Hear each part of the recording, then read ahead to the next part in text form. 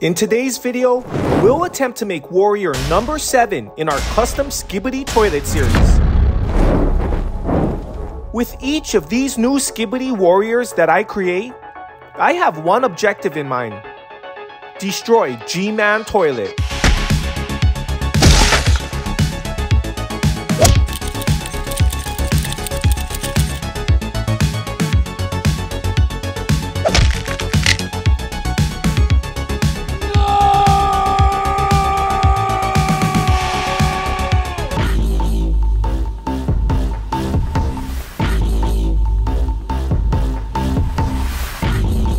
Hi everyone, I'm really excited for today's build because not only am I going to turn Screenshot 2.0 into Tri-Titan, I'm also going to share with you 4 clay working tips that I use in every single build and hopefully they'll help you make your own Tri-Titan or any other figure that you're interested in. Tip number 1. Just get started. Don't get overwhelmed. Break the build down into simple shapes and don't worry about making a mistake at this point. At first, epoxy clay is very soft and can easily be molded. A little water on your clay sculpting tools keeps things from sticking together. Over the next several hours, the clay will slowly harden and that leaves you with a lot of time to refine your creations. Once your parts are firm enough, you can superglue them together and you end up with something that would have been a lot more difficult to make in one piece.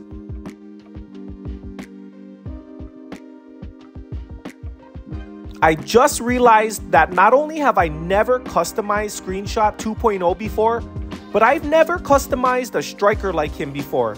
His top and bottom arms are connected with a pin, so cutting off the top arm releases the bottom. It's easy to fix with superglue, and I think this is going to work out a lot better than I thought. Tip number 2. Use a wire armature to strengthen your clay structure. When you apply wet epoxy clay to your Akedo figure, it may stick at first, and it may even stay there forever, but chances are it'll fall off at some point. Especially if your clay doesn't wrap around and grab the object you're trying to adhere it to.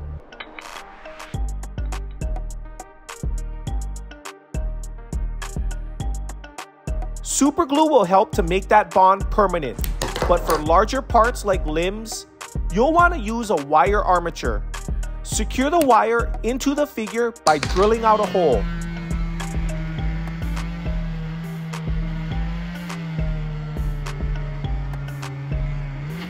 Stick the wire in and then fill the hole with super glue.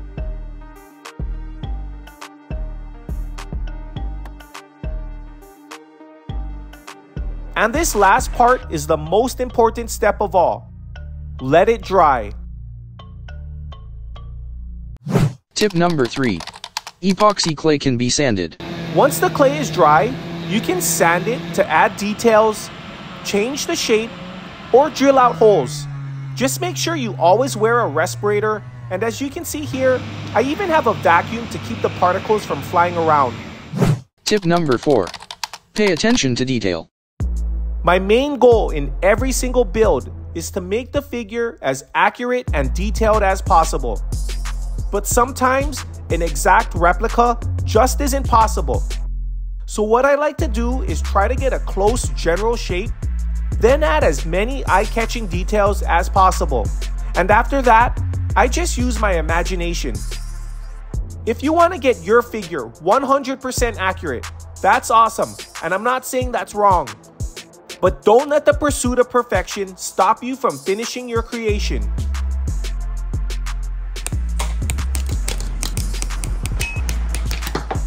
Clark and Eddie love to draw, but so many times I'll see them stop midway through their drawing, look at it with disappointment, then crumple up what I consider to be a masterpiece, and it really makes me sad.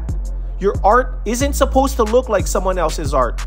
You aren't a Xerox machine. Your creations are going to be as unique as you are. They're going to be one of a kind.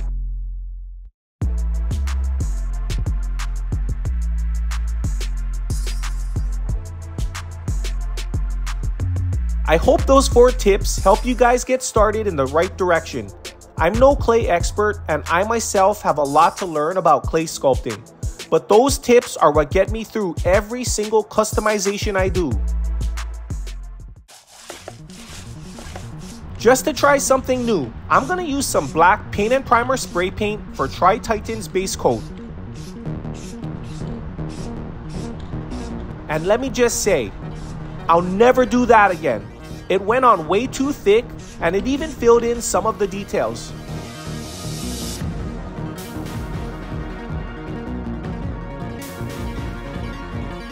For the white rings on Tri-Titan speakers, I'm gonna paint large white circles then fill them in with smaller black circles.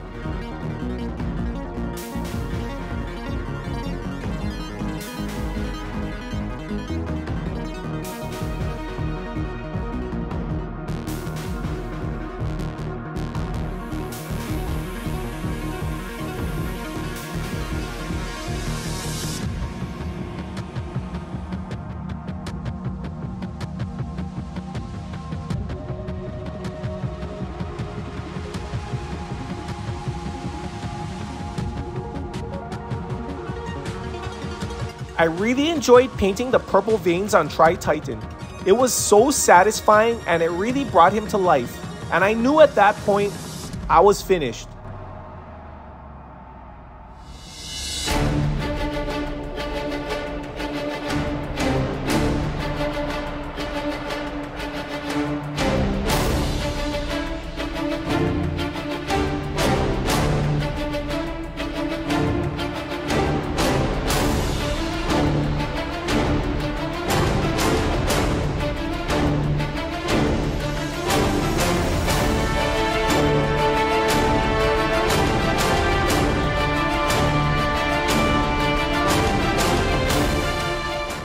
What do you guys think of Tri-Titan? Do you think he can beat G-Man Toilet? Well, don't worry, because we're gonna find out really soon in a battle challenge with Eddie and Clark. Thank you everyone so much for watching. Don't forget to hit that like and subscribe button, and we will see you in the next video.